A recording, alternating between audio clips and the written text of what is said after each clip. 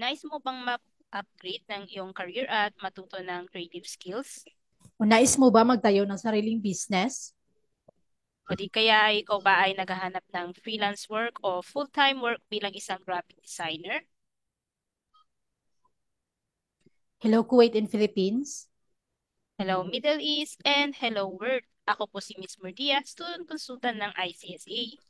At ako naman po si Miss Princess, student consultant ng ICSA para po magatid ng live update. Handog po ng ICSA Graphic Designing course kung saan matutunan po natin dito ang mga sumusunod.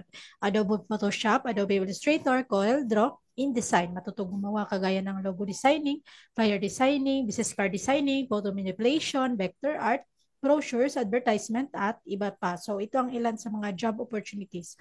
Graphic designer, freelance designer, art director, and many more.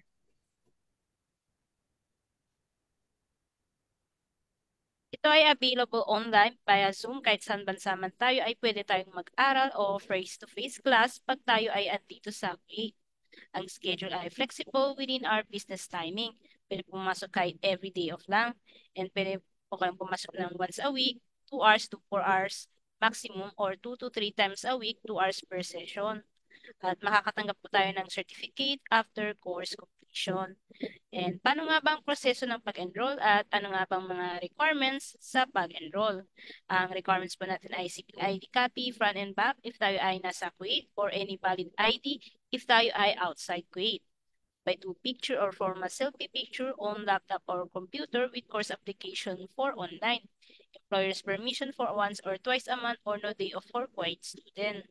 And kailangan po natin as qualification na meron na po tayong basic knowledge sa paggamit ng computer.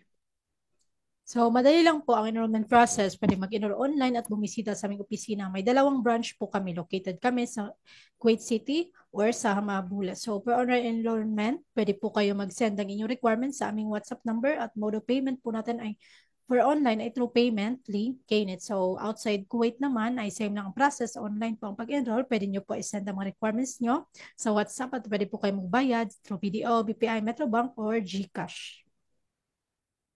Kaya kabayan, mag-enroll na sa graphic designing training course at bilang aming flash offer for this month promo only.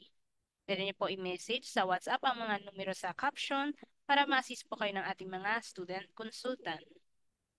Muli ako po si Miss Princess Ako naman po si Ms. Murdia, student consultant ng ICSA, na nagsasabing ICSA, ICSA, your partner your in partner in success. success.